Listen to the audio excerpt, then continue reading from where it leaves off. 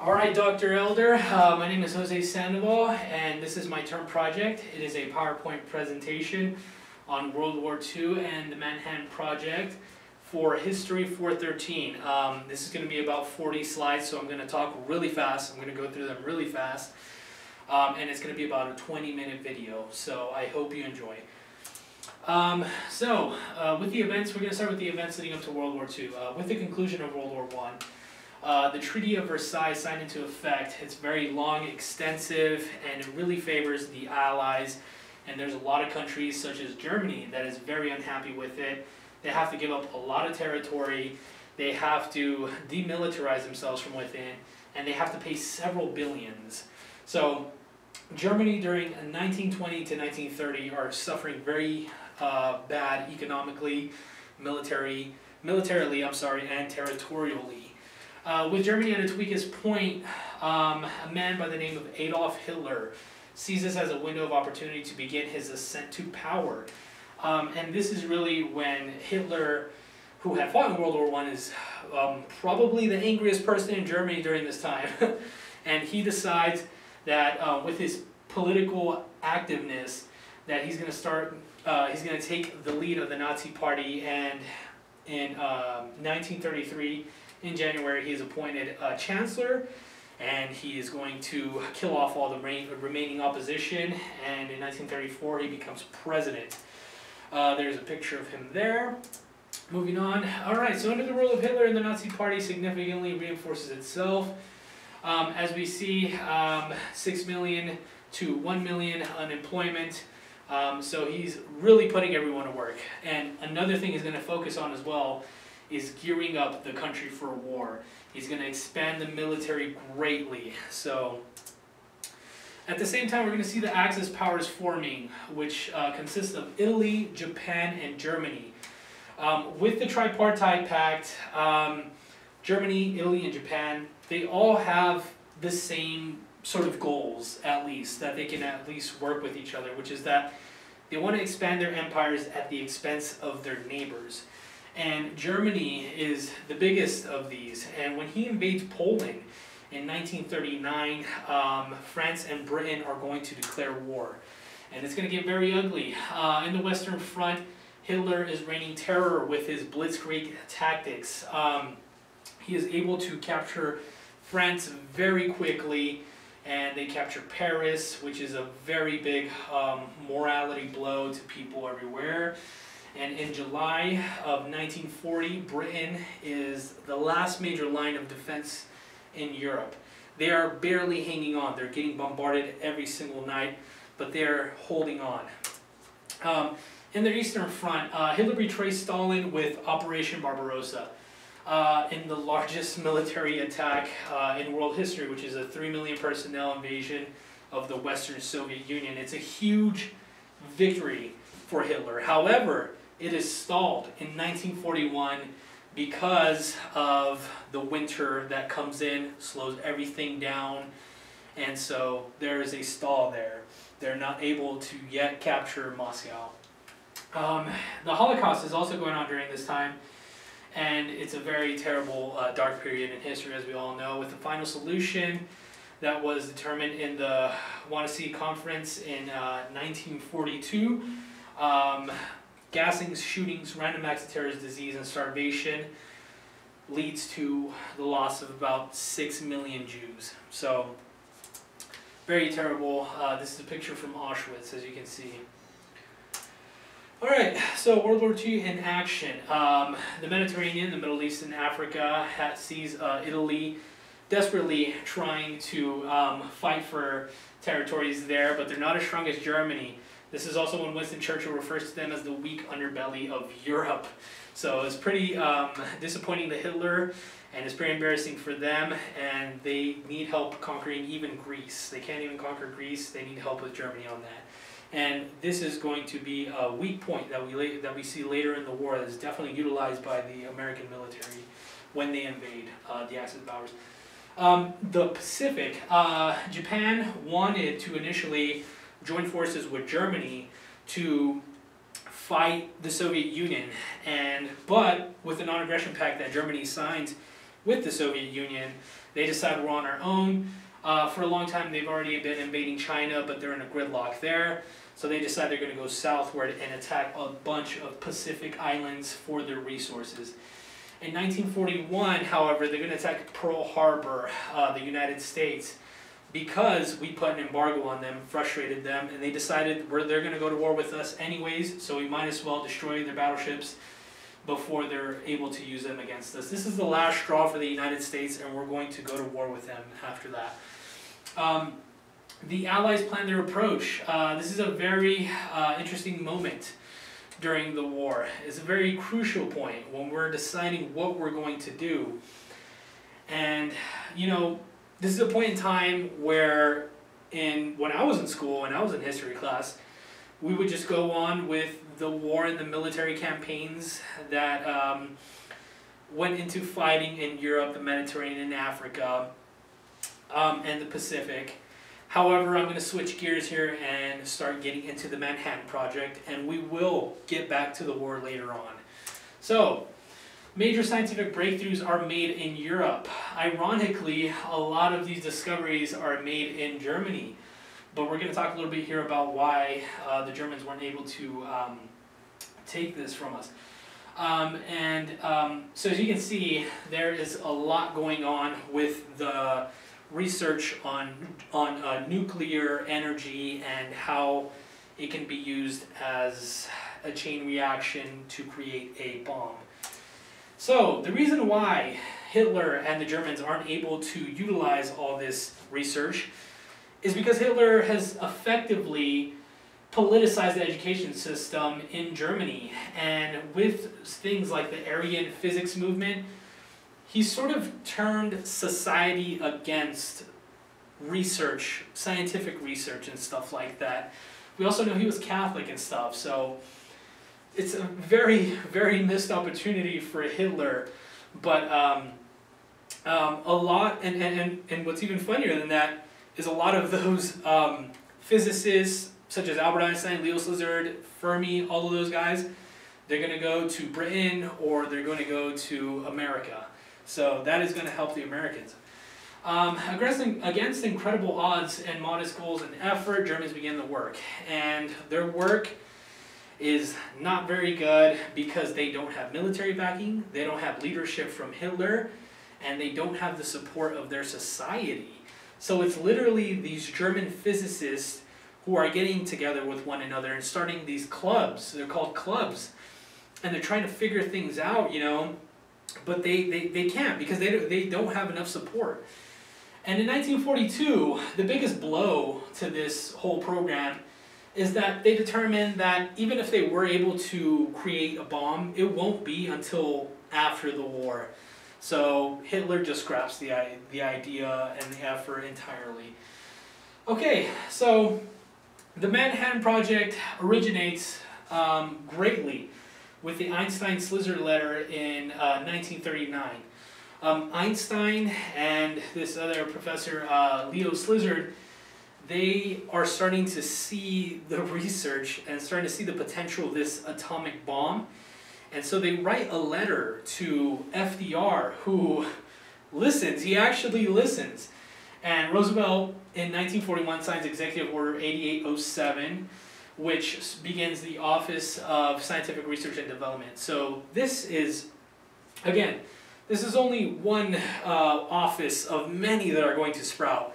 But as you can see already, um, Roosevelt is taking initiative, he's taking leadership, and he's actually going to back, um, he's going to he's gonna use um, his leadership to push an effort. He's going to push this effort so that we can actually try and actually create a bomb out of this. Um, so uh, in 1941, with Pearl Harbor, there's of course a new sense of urgency, and there's going to be these new senses of urgencies all throughout this effort. There's going to be D-Day, there's going to be the Bataan Death March, there's going to be so much going on in the war that is influencing us. And these scientists and physicists, these physicists are just feeling that pressure. So they're working as hard as they can around the clock.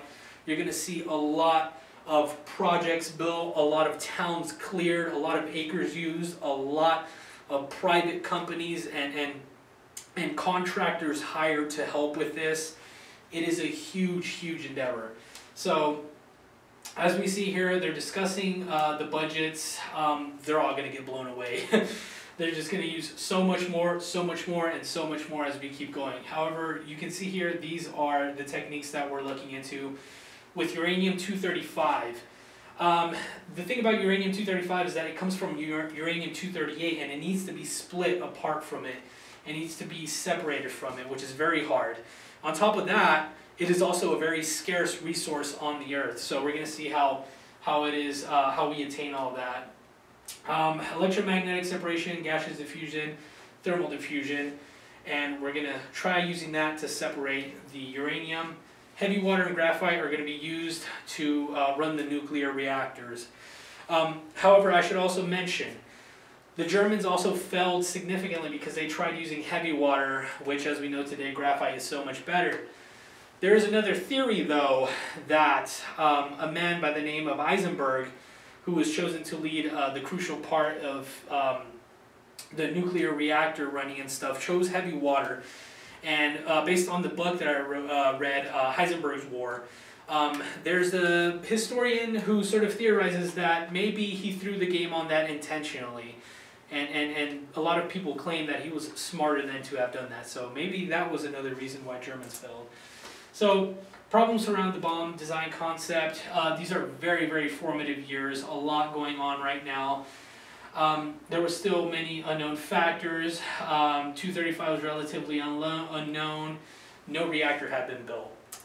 So uh, the project finally gets its name in 1942. They decided to call it the Manhattan Project, and this is really when they're deciding like this is going to be a huge thing. The size of the endeavor was unprecedented and is going to require an incredibly large budget and effort.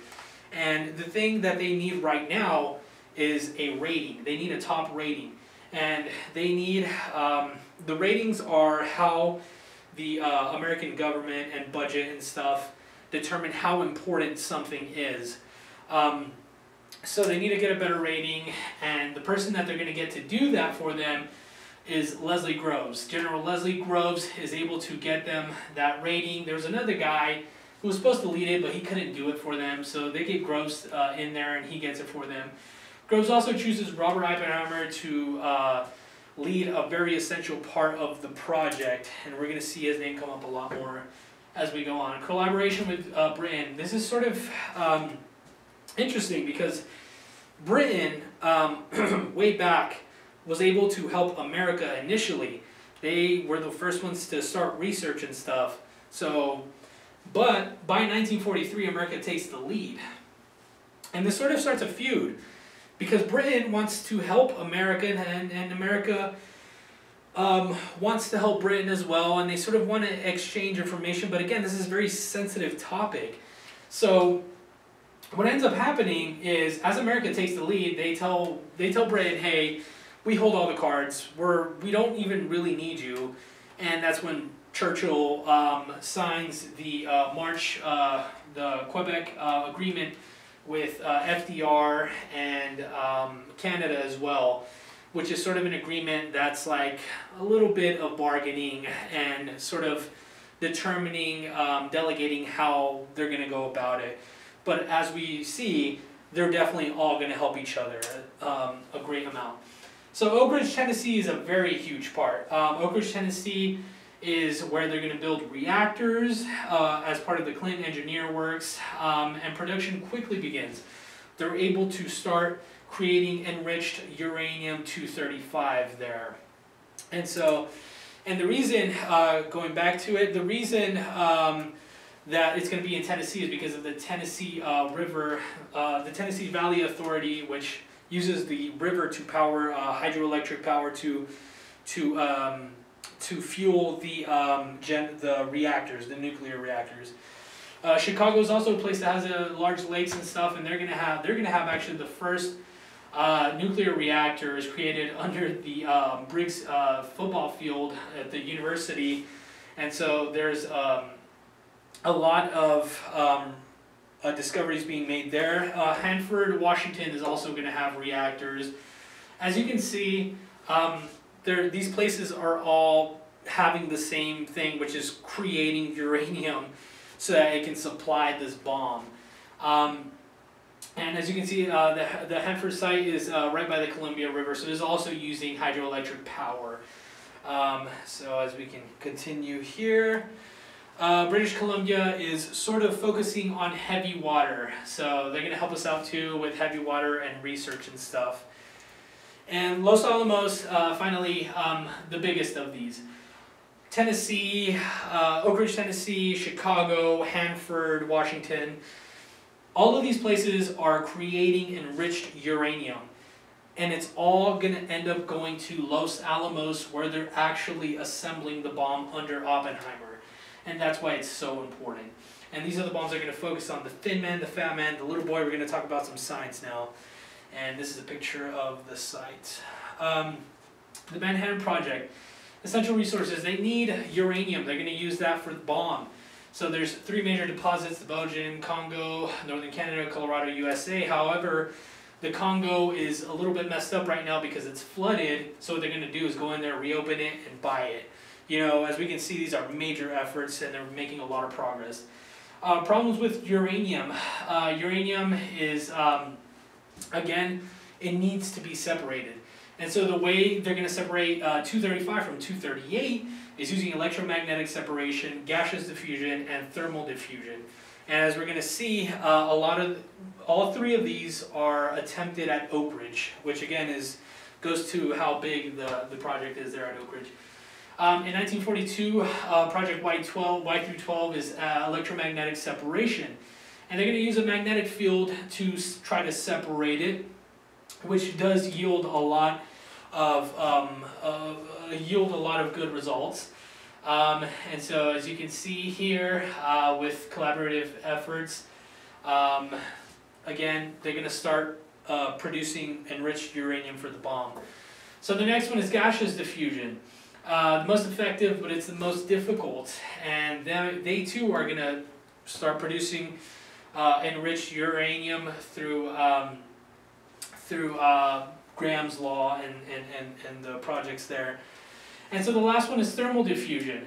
Uh, thermal diffusion um, is uh, another process to um, create enriched uranium. And with the thermal diffusion, um, they're going to get a lot of uranium produced as well, enriched uranium. And so this is how it's going to happen. Uh, this is the S50 project of thermal diffusion. So that's going to be the first stage of enrichment. Then they're going to send it to the K25, which is the last slide that we saw. Then they're going to send it to Y12, which is the electromagnetic. So it gets refined more and more and more as it goes. And at um, in 1945, uh, July of 1945, they're able to create 110 pounds of 89% enriched uranium-235, and that is put into Little Boy. So as we go on, uh, you can see plutonium was also decided they wanted to create one out of plutonium. However, there are some problems with that. Um, um, let me see here going on. Um, the separation process uh, for plutonium, they separated using a fluoride process and they were able to do that effectively. However, the problem with it is that um, they were designing Thin Man with it. And they realized that the plutonium was going to make the bomb unstable and it just wasn't going to work out. So um, they decide to scrap that idea and instead opt for another tactic, um, which is the, sorry about that. Um, so we're going to go ahead and end this video and I'm going to have another video for the rest of the presentation.